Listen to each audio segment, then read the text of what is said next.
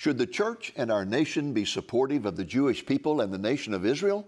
And if so, why? Stay tuned for a powerful presentation about this vital issue. Lamb and Lion Ministries presents Christ in Prophecy,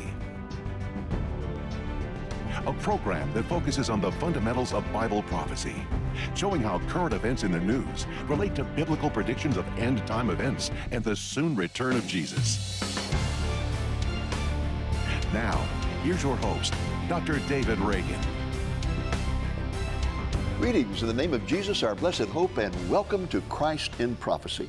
We hold an annual Bible conference each year in July, and this past year, the theme of our conference was the great debates of Bible prophecy. Our keynote speaker was Dr. David Hocking, who has a nationally broadcast radio program called Hope for Today. Dr. Hocking is widely recognized as one of Christendom's greatest experts on what the Bible has to say about the Jewish people and the nation of Israel. Dr. Hocking spoke at our conference on whether or not Israel has been replaced by the church, and in the process, he emphasized why the church and our nation should be supportive of the modern day state of Israel. Here now is Dr. Hocking.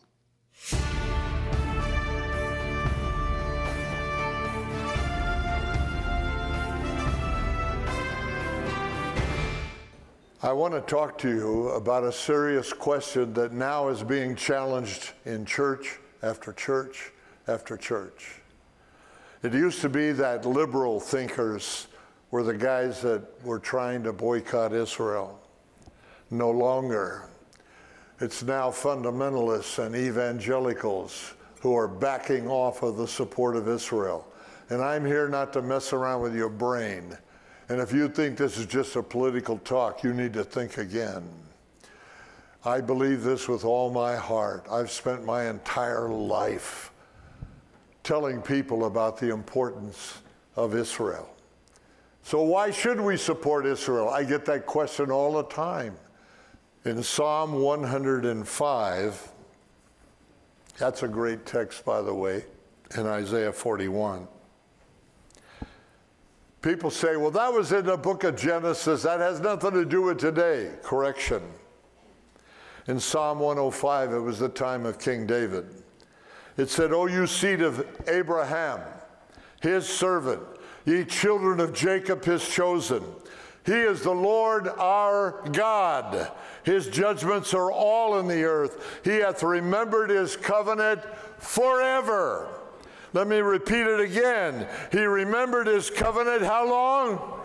Forever. The word which he commanded to a thousand generations. Which covenant?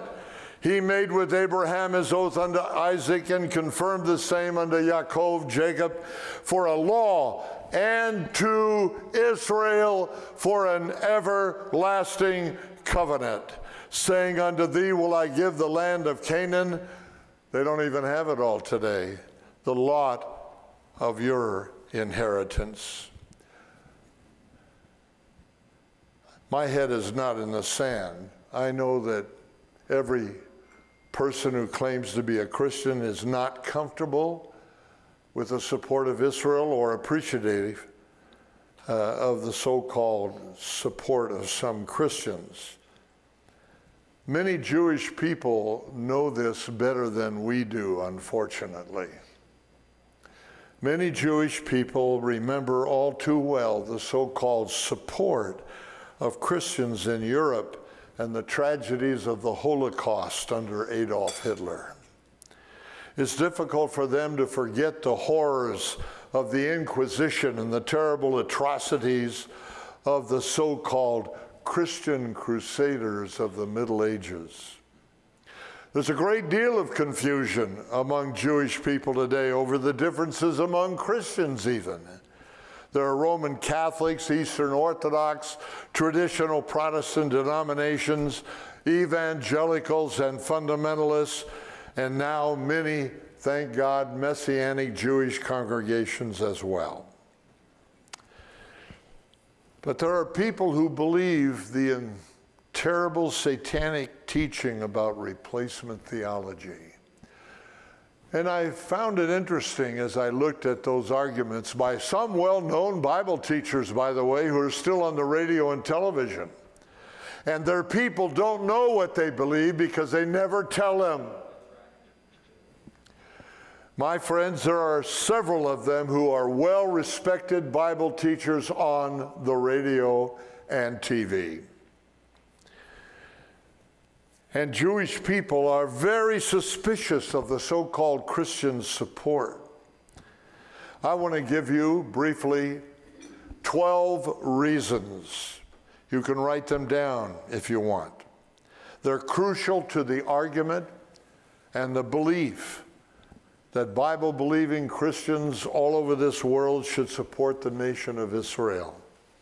It's time to stand up for Israel. I've seen the opposition, I've heard the opposition, I've had protests at my meeting.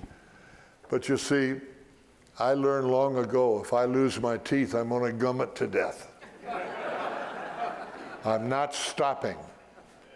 It's the most crucial issue of our time, and in my opinion, it's the most crucial issue of American politics right now. So let's take a look at what we're talking about. Number one, the most obvious one should be because Israel is the most frequently mentioned subject in the Bible next to the Lord Himself. 2,566 times, and we're going to go over every passage tonight. well, we can't do that in the time allotted. But it should be obvious to all of us if God mentions Israel that many times, not even counting what he said, then maybe we should take another look. As a matter of fact, God has promised to bless everyone who supports Israel. I'll bless those, God said, who bless thee and curse him that curseth thee. By the way, those who believe in replacement theology, I notice that they want the blessings for themselves, but they don't want the curses. Psalm 122 6 says, Pray for the peace of Jerusalem, of Jerusalem. They shall prosper that love thee. This is not a side issue.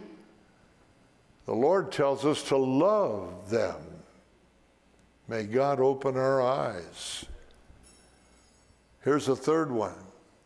Why should I support Israel? Because God has chosen her out of all nations of the world. You may not like this fact, but make sure you understand it from the Bible before you criticize it. Deuteronomy 7, verse 6 says clearly, Thou art a holy people unto the Lord thy God.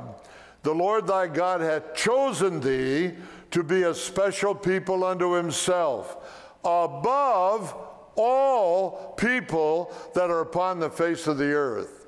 I was speaking in China a few years ago,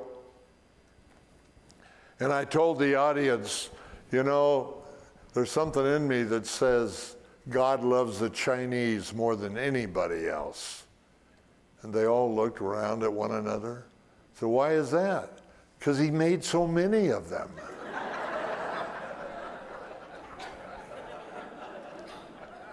Regardless of the numbers of nations and people on earth, Israel is the number one nation because God chose her to be. Isaiah 41 8, Thou Israel art my. Oh, by the way, feel free to say amen Uh, or hallelujah or praise the Lord or something. I don't want you to have a wreck on the way home. I shouldn't say that, but somebody's liable to have a wreck and then blame me for saying it. But the truth is, God wants us to let it rip. He doesn't say, Praise the Lord when you're quietly sitting in your pew. We're to shout. We're to make a joyful sound. And when we mention Israel, it should be at the top of our lungs. Amen. Number four. Do you ever think about this? Why should I support Israel? because God has identified himself with her. Even in the issue of the Mashiach, the Messiah, he's called the Holy One of Israel 31 times. The Lord refers to the Lord God of Israel 108 times. The God of Israel 203 times. Don't you understand?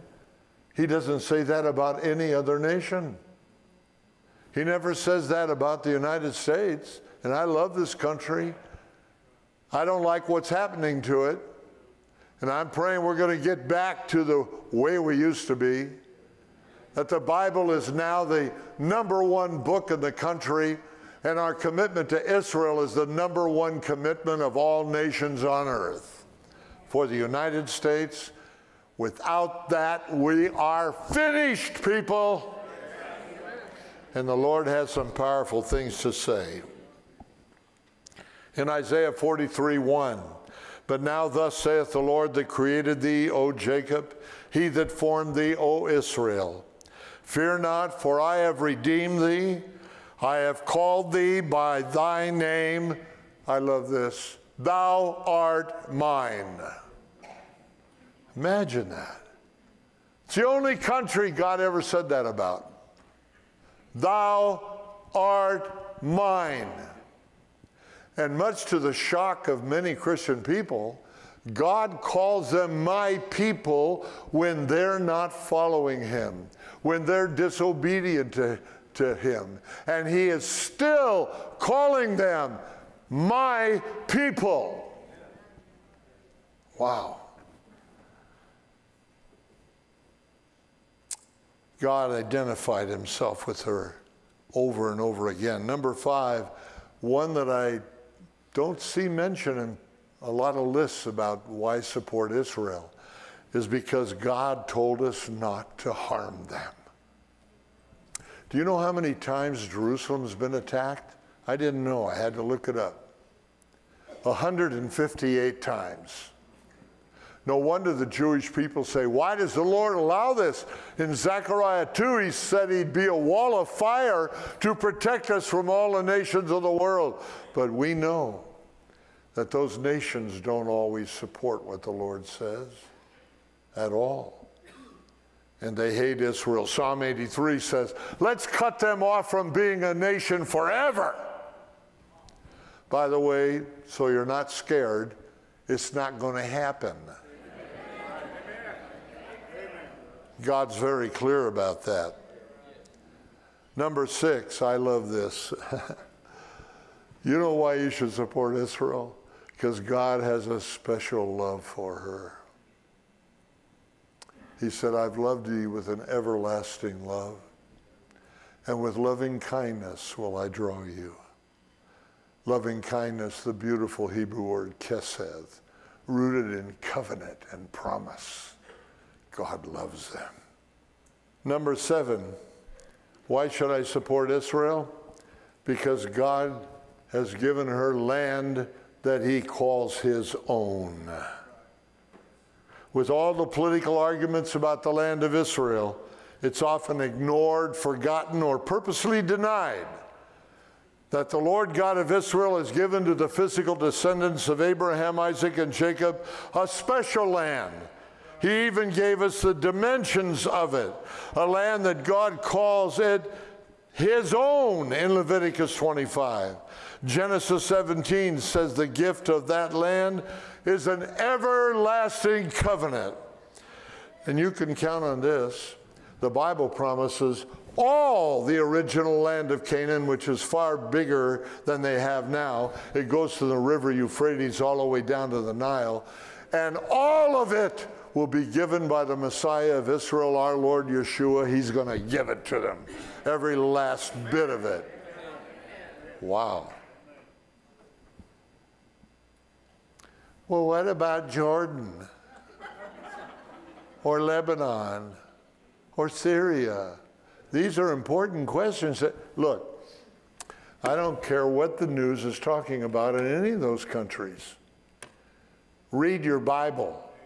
It's a lot better than the news programs of Fox News. read your Bible. It's the Bible, the whole Bible, and nothing but the Bible. And Israel's going to get all that land.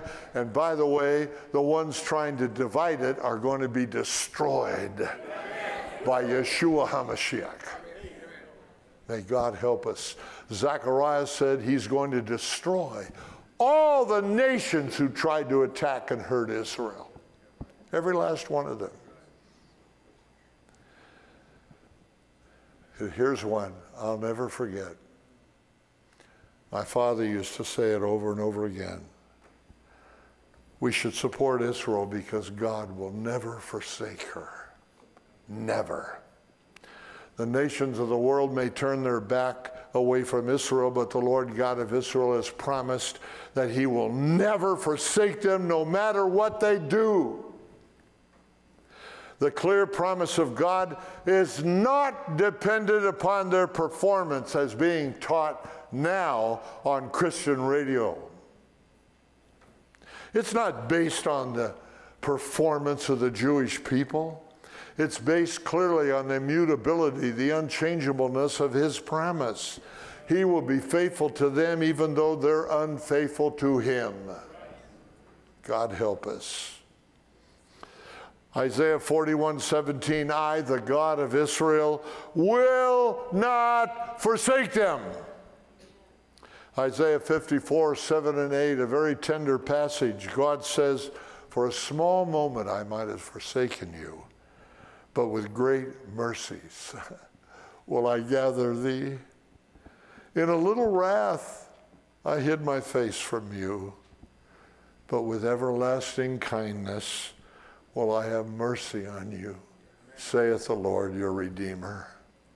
Thank you, Lord. And number nine, I've already hinted at it. If there was ever a reason why the nations of the world should support Israel, this is it. Isaiah 41, 11 and 12. Behold, all they that were incensed against thee shall be ashamed and confounded they shall be as nothing. They that strive with thee shall perish. Thou shalt seek them and shall not find them, even them that contended with thee. They that war against thee shall be as nothing and as a thing of nothing. Help us, Lord, to understand. You try to hurt Israel, and God's going to deal with you in his judgment.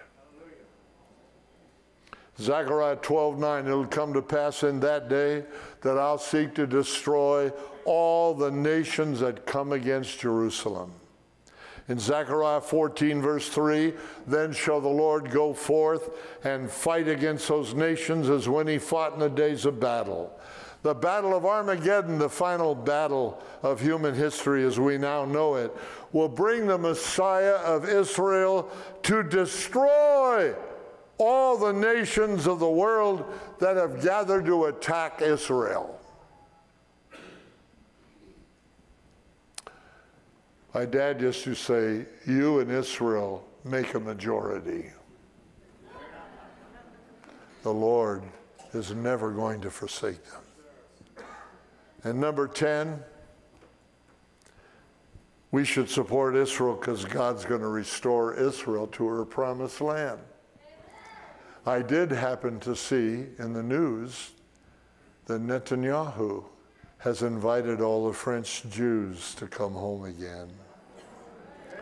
We're waiting for you. We will protect you. After that terrible, terrible attack at Nice, Nice, France, they're celebrating their Independence Day, Bastille Day. I understand close to 88 people are now dead. There's still about 60 that any day they could die. And what did Netanyahu do? He called the French president and said, Please tell the French Jews to come on home. We're waiting for them. And will we do our best to comfort them in this hour of need. I could wish the President of the United States said that. Yes, God's going to restore them to their promised land. God's not done with Israel. Deuteronomy 30 is great on that text if you haven't read it lately. And Isaiah 35, verse 10 says, The ransom of the Lord will return, come to Zion with songs and everlasting joy upon their heads. They shall obtain joy and gladness, and sorrow and sighing will flee away. Isaiah 43 Fear not, I'm with you. I will bring thy seed from the east, gather thee from the west. I'll say to the north, Give up. To the south, keep not back. Bring my sons from far, my daughters from the ends of the earth, even everyone that's called by my name, for I have created him for my glory. I have formed him. Yea, I have made him. Jeremiah 32 I'll gather them out of all countries. I'll bring them again to Jerusalem. I'll cause them to dwell safely. They shall be my people, and I will be their God. Ezekiel 36, 24, I'll take you from among the heathen. I'll gather you out of all countries and bring you into your own land.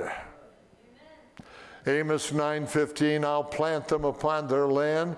They shall no more be pulled up out of their land which I have given them saith the Lord thy God. The Jewish people will return to the land in the end times and become a nation in one day. They will retake the old city of Jerusalem they will experience, according to the Bible, spectacular agricultural development and will send it all over the world. They will be hated and pressured by all nations of the world. God is not fooling around with us. He's fulfilling His word, and nothing we say or do will ever stop it. But what I'm going to tell you now is the whole issue. You see, why should we support Israel? Because God will bring salvation to the whole world through the Messiah of Israel, our Lord Yeshua. In Isaiah 11:10, in that day there'll be a root of Jesse which shall stand for an ensign or a banner of the people. To it shall the Gentiles seek, and his rest will be glorious. Isaiah 42 1 Behold, my servant whom I uphold, mine elect, in whom my soul delights. I have put my spirit upon him, and he shall bring forth judgment to the Gentiles. In verse 6, I, the Lord, have called thee in righteousness, talking to the Messiah. I will hold thy hand, I will keep thee. I'll give thee for a covenant of the people, for a light of the Gentiles. In Isaiah 43 25, I, even I, said the Messiah, am he that blotteth out thy transgression for my own sake and will not remember your sins. In Isaiah 44 21, remember this, O Jacob and Israel. Thou art my servant, said the Messiah. I formed thee. Thou art my servant, O Israel. Thou shalt not be forgotten of me. I have blotted out as a thick cloud thy transgressions, and as a cloud thy sins. Return unto me, for I have redeemed me.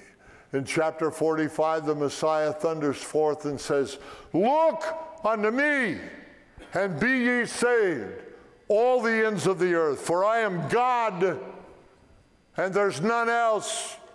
I have sworn by myself, the word has gone out of my mouth in righteousness and shall not return, that unto me every knee will bow and every tongue will swear or confess. In Isaiah 52, the Lord hath bared his holy arm in the eyes of all the nations, and all the ends of the earth shall see the salvation of our God. In Isaiah 62 11, the Lord hath proclaimed unto the end of the world, say to the daughter of Zion, Behold, thy salvation cometh. Behold, his reward is with him and his work before him. Listen, our Lord Yeshua said, Salvation is of the Jews. Christian faith and belief, my dear friends, is rooted in the promises of God given to the nation of Israel. Christianity is not a pagan religion, nor did its original ideas come from idolatrous beliefs of past empires, as so many people are arguing today. Christianity is based on Jewish roots, on the promises of God to Israel. That's the way God wanted it. And I give him all the praise and all the glory. And I thank God that he reached down and saved my father before he died.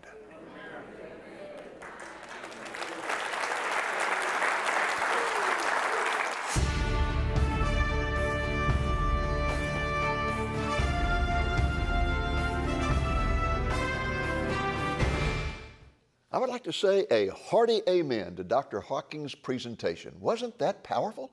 And you have heard only about half of it. The rest is on the video album that contains all the presentations that were made at our conference. And in a moment, I'll tell you how you can get a copy of that album. Well, folks, that's our program for this week. I hope it has been a blessing to you, and I hope, the Lord willing, that you'll be back with us this next week when we will share another of our conference presentations with you. Until then, this is Dave Reagan speaking for Lamb and Lion Ministries saying, Look up, be watchful, for our redemption is drawing near. Folks, I am delighted to announce that the video album of our 2016 Bible Conference is now available for distribution. The theme of the conference was the Great Debates of Bible Prophecy. The album contains three DVD discs, and they in turn contain six presentations that were made at the conference, most of which run 50 minutes in length.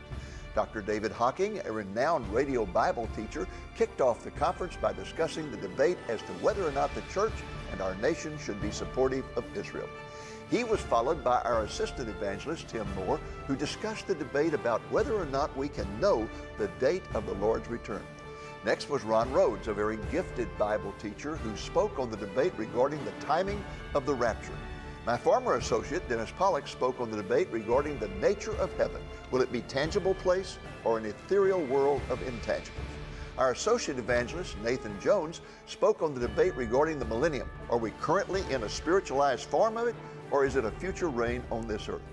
The last presentation on the album is one that I made regarding the nature of hell. Specifically, I addressed the question of whether or not hell will consist of eternal torment. This album runs about five hours in length. It can be yours for a gift of $25 or more, including the cost of shipping. To order a copy, call the number you see on the screen or place your order through our website at the address on the screen. If you call, please call Monday through Friday between 8 a.m. and 5 p.m. Central Time. Again, the video album contains six presentations that run about 50 minutes each, and it can be yours for a gift of $25 or more, including the cost of shipping. Thank you for joining us on today's Christ in Prophecy, a presentation of Lamb and Lion Ministries, a non denominational ministry dedicated to teaching the fundamentals of biblical prophecy and proclaiming the soon return of Jesus.